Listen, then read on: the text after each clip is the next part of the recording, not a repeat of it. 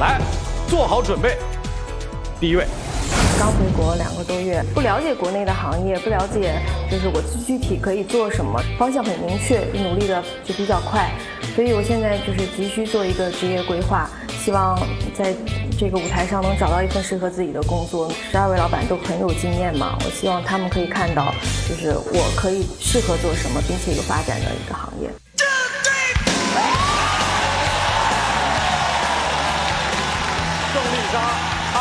美籍华人，美国康涅狄格大学会计专业硕士。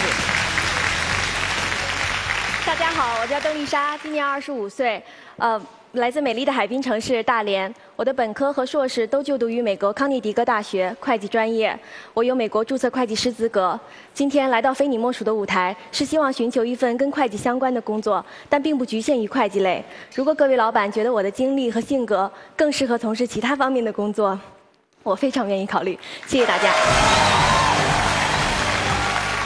欢迎丽莎。是是好呃，丽莎是哪年去的美国？啊，零三年三月份去的美国，那会儿还小，那时候上初三，上初三。对所以高中也是在美国完成的。对本科学了四年吧？本科四年的课程我三年就完成了，啊，硕士呢？硕士一年。一年，就一共学了四年。对工作两年。对这六年的经验都是和财务有关的，在美国有工作。有是在美国的注册会计呃会计事务所 KPMG，中文叫做毕马威，嗯，在这块儿来做，做呃主要是负责税务方面的工作。嗯，因为有那个美国的注册会计证。对啊、但是现在可能就会有一个问题了哈。嗯那工作好好的嘛，对，收入怎么样？收入也不错，呃，大概呃年薪大概在六万美金。六万美金。对六万美金在美国是一个什么水平？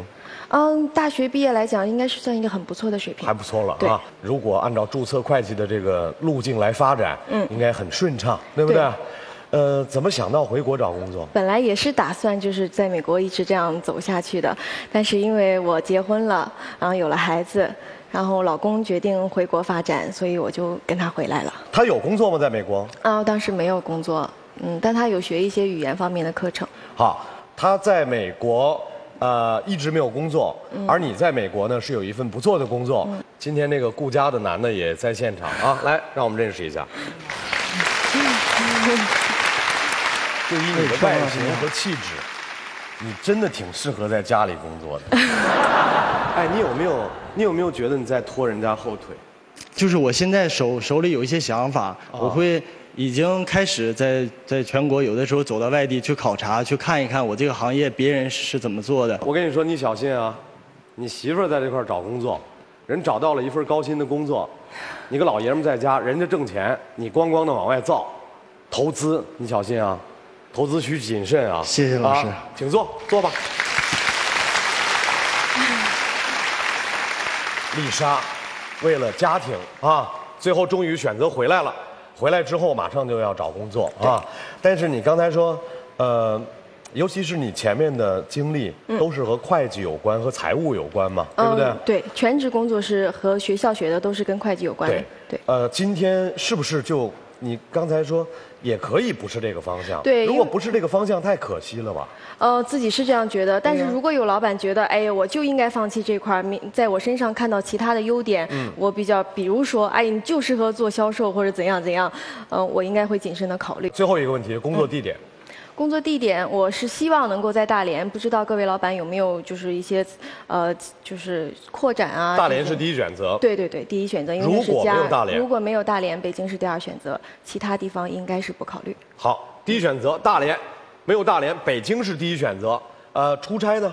嗯，出差也可以，但希望相对嗯时间稍微少一点吧，因为毕竟有家庭，好希望回去看看孩子。好，就这么一个情况。来，月明，嗯、你好，你好。我们就先讲一下财务吧，因为你在美国其实财务的工作也工作有一两年的时间，讲一下这部分。咱们别说，我主要是税务方向，嗯。就具体嗯，你的工作内容是什么？在美国？嗯，主要做的是美国税务方面，就是美国的联邦税，包括一些州税，就是美国的企业每年要向联邦政府，嗯、给提供他们的财务资料，然后要报税。我想我我们啊。互动一下，因为我我可能在信息上对你有一个理解，我不知道这个理解是否有误区哈。我想我想在从你在赌场的这个经验里面去找到一个找到一个我看你能适应的新的行业。对你在赌场里的很多优势。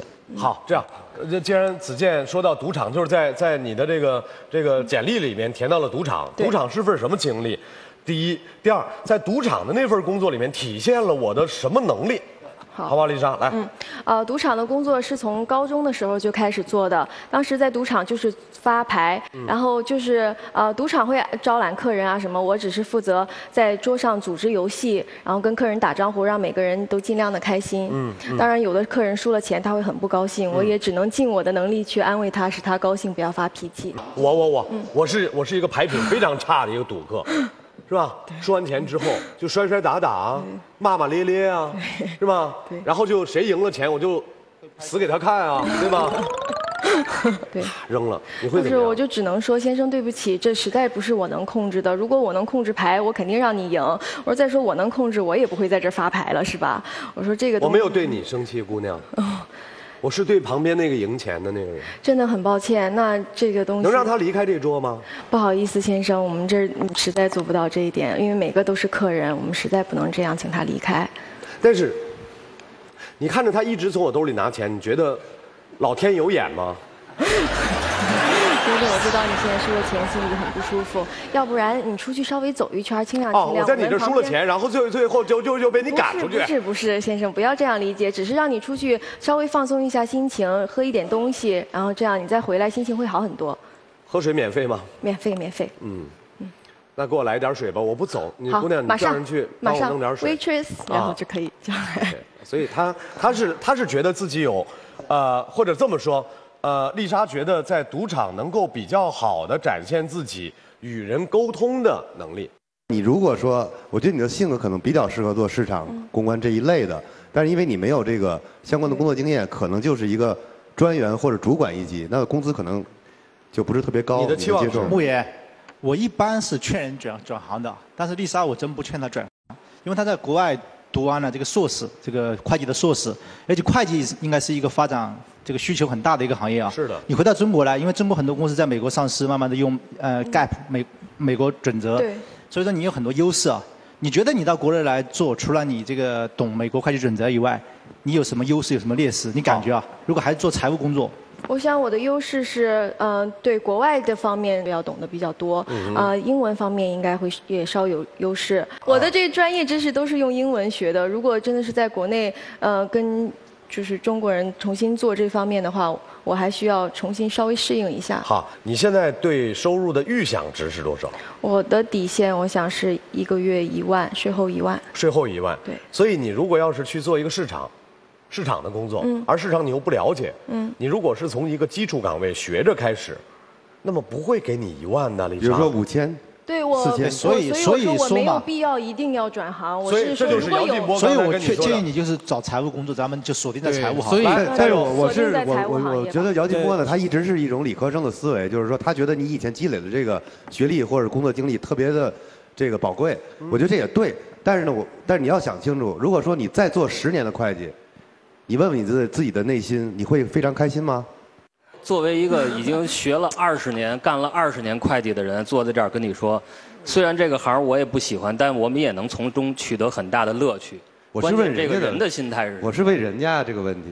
不是我我我觉得他本身就是一个兴趣很广泛的人，我也是一个兴趣很广泛的人。嗯，你看到我，就其实你后来没有做会计就是许怀哲，许怀哲虽然你这样虽然你截止到目前为止，怀哲你一句话没说呢，但是你觉得你的心是和他跃动在一起的。我我看到这些就是兴趣非常广泛，并且又觉得我我自己不想把自己全诱在这么一个会计这个小圈子里的人，我都感到有共鸣。哦，好的，强烈建议这个我有不同，我强烈建议这个 Lisa 不能改行，因为你这个经验未来很多公司都会用上。假如像我们公司去美国上市，都会用上。嗯所以我建议，比如说像怀哲，今天他是在会计师事务所这样的机构，我觉得特别适合你。嗯你可以在那儿熟悉很多的事儿，嗯所以你千万别听他们说，因为你今天长得漂亮，所以你可以去干别的。我觉得真的不是这样的。那你二十年以后，你是个老教授又怎么样呢？对吧？嗯我相信你的这个专业和你在毕马威的经验，你千万别转行。嗯，先不问问题了，怀哲，先不问问题了。第一印象啊，第一印象啊，就这么个情况。而且人家上来之后把薪金要求都已经提得很清楚了。我还是那句话啊，咱老板，你要是能给你就留，你要是不能给，你说就别你最后光光留最后，留到最后说我还是给你五千啊，咱们不玩那种游戏。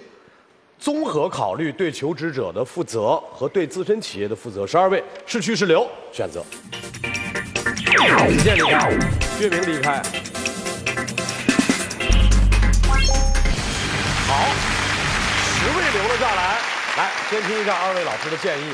人才如果摆错位置就是庸才，你理解我说的意思吗？比如说你今天到了另外一个企业去，你做了市场，做了其他的，对你来讲非常的不划算，所以给你的建议就真的不不认同你转行。嗯，好，谢谢周老师。杜老师，我一般给建议只给选手哈，今天我给选手的这个家属也给点建议，可以好好好吧？好。哎呀，这个男的太需要建议了啊。呃，我觉得在同龄人里边你是最成功的，这么短的时间就找到这么好一老婆，孩子也都解问题都解决了，别被这个中国传统的说咱老爷们儿不能在家，你就好好这几年替他把这孩子养大了，养好了，有时间的时候去上个什么家庭沟通啊、防家暴啊这样的课啊，然后呢，让他踏踏实实的完成他进回国的这个转型，我觉得你就是最成功的了，然后再看机会。真的是，得把而且我告诉你，哎，看我，哎，又是男孩儿，对不对？对。男孩儿和爸对一块儿难成长得了别的男孩儿都没机会从你来到现场说话吭吭哧哧、啰七八嗦的表现来看，你需要和你儿子一起成长。然后，当你们一起成长了之后，然后你媳妇儿在外面，对，你就刚才杜老师说那课程很重要，你就学习怎么让他不打你，瞎操作，就给他一个港湾，你懂？好，我懂。不要找工作，不要创业，不要投资，回家。哎，但是如果是这样，但是如果是这样的话，人小伙就想了，嗯，我要回家，我回来干嘛来了？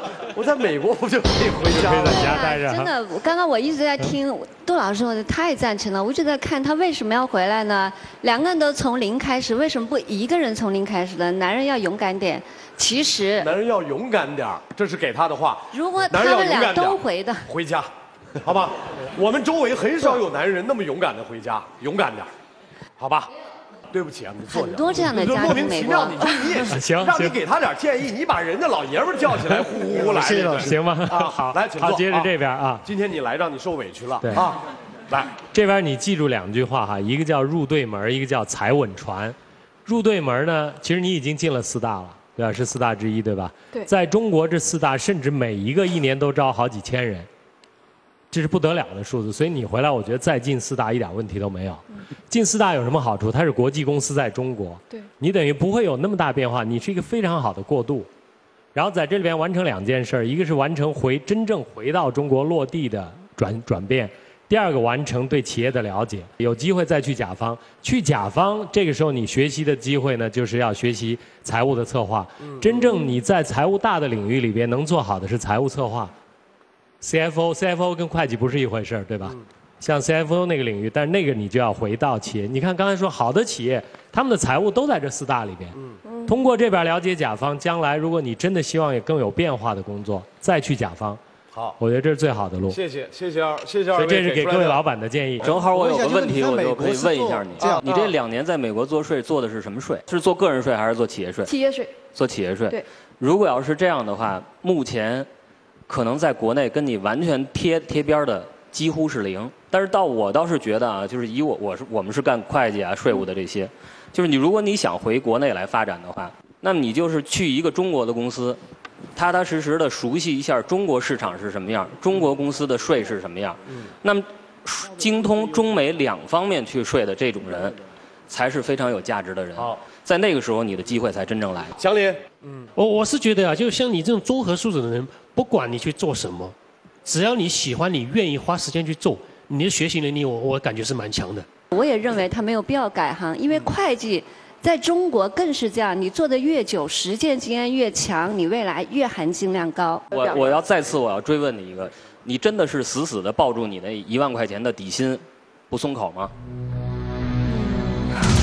如果要是在北京的话，我想是的。是的，好，在来大连的话可以。可以讨论。对啊，十位，现在到了大家选择的时候了。无论你们心里面怎么想，无论你们怎么劝，最终，最终做决定的其实是丽莎，给还是不给职位？如果灯仍然亮着，主动权到了丽莎的手里，十位选择。强行离开，强行离开，强行离开。丽莎，丽莎，我们的财务的副总裁短信还没有回。如果这一期你你是走没有选择任何企业的话，那我们底下聊好吗？行，谢谢，非常谢谢。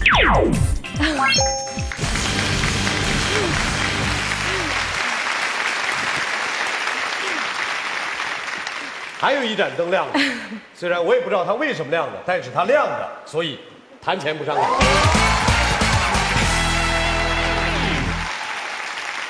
呃，职位杰利亚，职位是我们集团公司的审计专员。黄海南工作地点是在杭州，对，在杭州。在杭州。但是他刚才已经说了，第一选择是大连，第二选择是北京，除此之外嗯因为为什么呢？他大连到北京的时间跟我大连到我杭州的时间几乎是差不多的。虽然我这个公司在杭州，有一点不符合你，但是其他的几个条件我都能答应。对，我还是那个观点，其实最近我和很多求职者都交流过这个话，题上。嗯第一，在这个平台上，呃，最终找到工作，并不是诉求，诉求是在这个工，在这个平台上，尤其是你刚回来的时候，找自己。对。希望你通过今天的这个平台上找到自己，对，好不好？很感谢有这么多老板给我这样的就是职业建议，让我不要转行。我也坚定了一下自己的信心，因为刚回来心里有很多矛盾，不知道自己应该往哪个方向走。更重要的是，老板们同时还告诉你爱人、你老公，在家里面扶持。思考一下，告诉我们你的选择是接受还是谢谢再见？接受还是谢谢再见？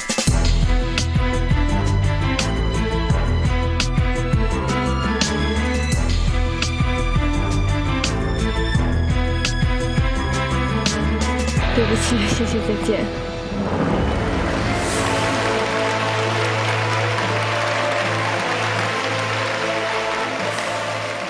谢谢尚老师。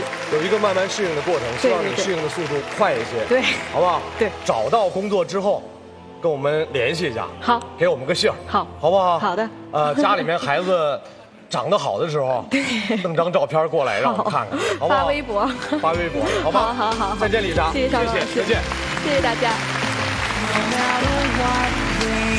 再见，郑丽莎。再见，谢谢大家。